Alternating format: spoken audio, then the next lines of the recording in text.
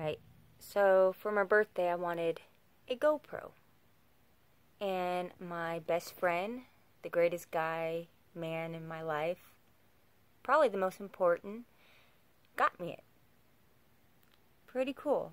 But he had to be a jerk and got me a whole bunch of other stuff. I have a lot to uh, read. But there you go. I am in like a nerd heaven. I don't know what I'm going to do with all this. I do plan on using it for all the horses and cows and the farm stuff. So, thank you again, David. I was not expecting all this. Some of them are really cool. But yeah, thank you again so much.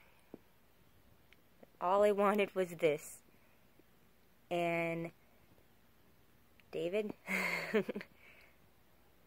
all of that. I was not expecting. Again, thank you so much. And, uh, wow. Love you, man. Bye.